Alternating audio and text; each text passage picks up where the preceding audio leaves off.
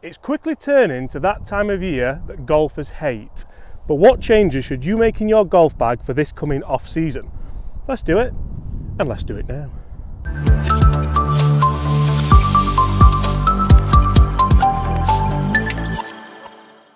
Hi everyone, my name's James Robinson and welcome to this YouTube channel. In today's video, I'm going to talk to you about what changes you should make not only in your golf bag, also with your golf game for the coming off season. So you'll see today we're off the yellow tees. It is the 2nd or the 3rd of November. I'm not quite sure. Is it the 3rd? It is the 3rd of November. The white tees are away.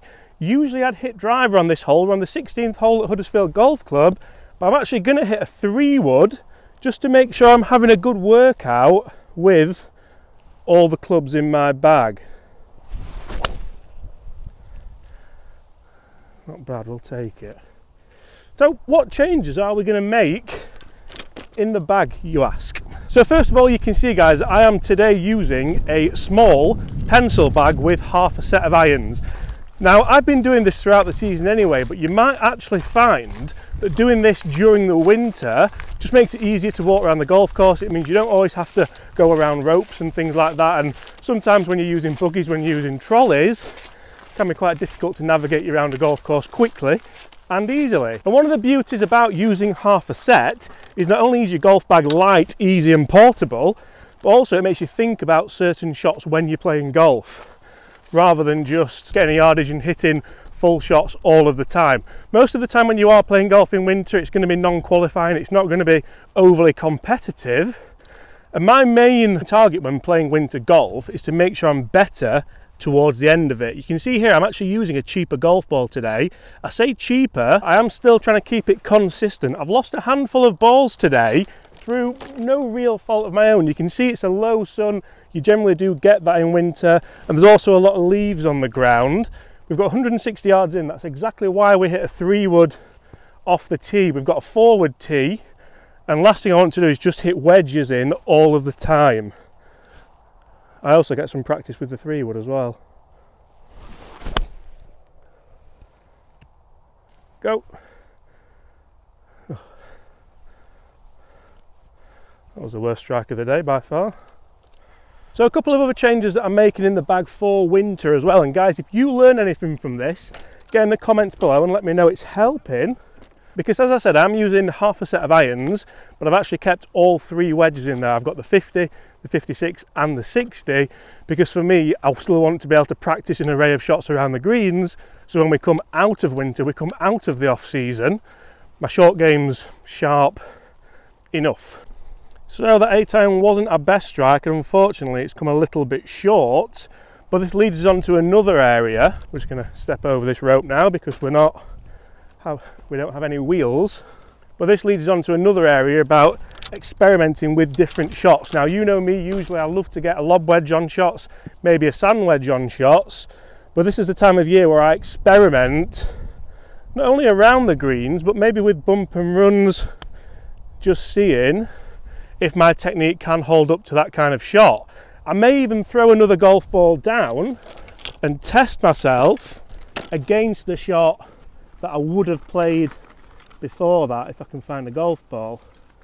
So that was an A-time bump and run, and that's at about six feet. And the lob wedge shot, not the best. It was never a lob wedge shot there. But experimenting can sometimes give you the confidence to then use those shots when the season restarts in April. Oof, April. Now, winter isn't always the best time of year. hey! Easy look. Winter isn't always the best time of year to look at new putters. It might be a great time of year to experiment maybe with a couple of new clubs off the tee, maybe even a few more irons or wedges. But for me, you have to consider the greens aren't going to be as consistent this time of year as maybe in the summer. So you have to lower your expectations a little bit. Lower your expectations with the putter, PGA Tour and European Tour averages are taken not only with the best players in the world, but also on the best surfaces in the world. So just accept that sometimes sometimes you can hit a good putt and it goes out, sometimes you can just pull it. That was nothing to do with the green. That's a five. let's move on. Sometimes in winter you will see on par threes we have mats like this. It's very important you don't get used to hitting off mats too much. If you spend a lot of time at the driving range as well, how far do you reckon we've got here? 150. I'm going to hit a full 8 iron, but sometimes you can get away with a little bit too much on these mats. You can maybe catch it a bit fat, you can Damien it, so make sure you don't get overly used to that. What did you get it as? Right, I'm going to go with a big 8 into the wind. We're just going to try and play a nice cut in there, so I'm going to try and work on a couple of different shot shapes as well in the off season. That'll be good then. Oh, that's delightful. Thank you very much. So today is a prime example of a winter's day. We've been out here playing, we had a, a game this morning where me and Dalton took on Gaz and Fox Foxy. We absolutely hammered them, nothing to do with you. Gaz just played horrendously. Um, but he does, he just does. I did win two holes. So. You did win two holes, but it's so important as well to keep playing for something during the winter. Don't always just go out there and try and work on your game. Try and keep that competitive edge going, because you'll be surprised if you turn up in April or May and you've not either had a card in your hand or played some kind of pressure match. You might struggle to get back into it. You've got to be feeling them nerves. Although there were no nerves today, mate, were they? There were no nerves today at all. See now Dalton's got his trolley, so he's got to leave the trolley there and go round whereas we can just saunter through with our pencil bag and half set and uh, it's easy. Quite happy with that shot as well yes please. Tell you what I only just uh, only just fitted through there. Now earlier on I mentioned about not expecting too much on the greens lowering your expectations a little bit. That doesn't mean to say you shouldn't stick to your routine. And if you haven't got a routine maybe use this winter use this off season as a chance to get a routine. So make sure you read the green as you know you can. Stick to whatever routine you've had or that you're trying to get. And then from there, just make sure that the pace is right. Even down to taking the flag out, leaving the flag in, whatever you're allowed to do at the moment, make sure you stick to it. I do love the alignment aid on this AD triple three. This is for a birdie two.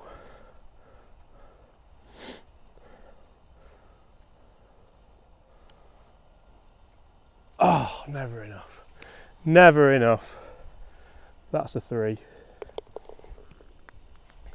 Another thing to think about is holing out as well. I've just nonchalantly knocked that back. But remember, short putts count for just as much as long putts, as much as iron shots, bunker shots, drives off the tee. And if you miss a couple in winter, it doesn't matter. You can put it down to a bad green, to a bobble. If you start making a few in winter, you're building that confidence level up. So don't just knock them in like I've just done there, learn from my mistakes. I also mentioned earlier about using a cheaper golf ball, and by that I don't mean go and buy whatever's on offer that week in the pro shop. If you can find a golf ball that you like for winter that's not too expensive, again, such as maybe a Srixon or something like that, that is a little bit cheaper, but try and keep it as consistent as you can because if you're using different golf balls every time you go out there, they're going to launch differently, they're going to have different spin characteristics, they might even go slightly different yardages.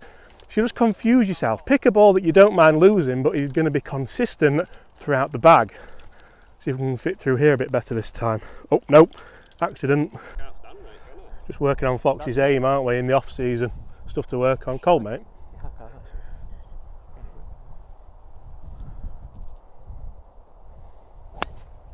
Oh my So God. good. So I good. should be a PGA Pro. You should be. So I know I mentioned earlier that sometimes you don't want to be keeping score, but sometimes to grow that confidence, you do want to keep score. On a par five now, one of the yellow tees, because it's winter and because the forward, we're going to driver, we're going to try and bomb one down there. We've already made one eagle today, and sometimes it's just nice to build a bit of confidence, especially when you're playing with the boys. And get down there as far as you can. Oh, that was nice. Srixon as well. What nice that wind just to kick up just as you're about to. I know. And I know a lot of you guys might be thinking, well, you're kind of contradicting yourself there because, first of all, you're saying use this time to work on your game, use this time to not worry too much about your scoring. But then I suppose it depends where you are with your game. If you're at a stage where you want to work on something, you want to tweak something, there's no better time than now. But if you're playing well, keep that score going, keep the momentum going, and play as much competitive golf as you possibly can. Let's go find where that is. Right, as you come over the hill, three pretty friendly drives down there. Nice one, Foxy. Gaz would be here, but he's uh, cried off. Doing something about like, socks one. Something about socks, yeah, I don't know sure what. Dalton just hit one all over it. Oh, that's filthy. That's filthy. I'm sorry, I didn't get the swing, but so what I'm going to do here is I'm going to try and play a little bit of a different shot, a bit of a low four iron and run it up. Again, I'm using this time of year just to play maybe different shots that I wouldn't play whilst maybe trying to make a score. Dalton's definitely going to make a four there, maybe even an eagle three. See if we can match him.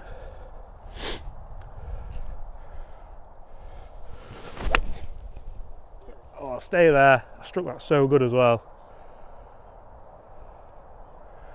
Green side, is it? It's not bad. Miles better, Foxy. And it is absolutely amazing how sometimes when you do play golf and you're out with your friends, we've just come across something here which could well transform his game a little bit. We're going to get him to stand a little bit further away. And I try not to kind of talk to him too much about stuff like this. I know a lot of people will say, why don't you give him more lessons, give him more lessons, give him more lessons. If every time I saw him I was giving him a lesson, he'd get bored of me and uh, vice versa. And one of the biggest points as well when you do play winter golf is don't forget to enjoy yourself. The reason why you're here, the reason why you come out and play golf, the reason why we've come today, there the plan was to play 18 holes, three of us have managed, one of us has gone in after 11. I'll let you decide who that was. Make sure you embrace it and enjoy it together as a group of mates. Friends! Okay, so Dalton's got that put for an eagle three, and we've got this chip to hopefully try and salvage a four. Now mud balls are certainly a thing this time of year. Let me know if you want me to do a video on that actually. But short game, such good practice for short game this time of year. Come on. Oh, sit. Oh, such good practice for short game. Ugh. Okay, that certainly wasn't ideal. The good news is we get more practice for short game. I'm not beating myself up because it's winter golf. Come on, doll, let's see an eagle. Yes! Fist bump if you've had an eagle today. right guys, I'm going to finish the video and try and chip in for birdie. If not, I really don't mind. It's winter golf, we've enjoyed ourselves. I'm not going to beat myself up too much. That wasn't very good, I know.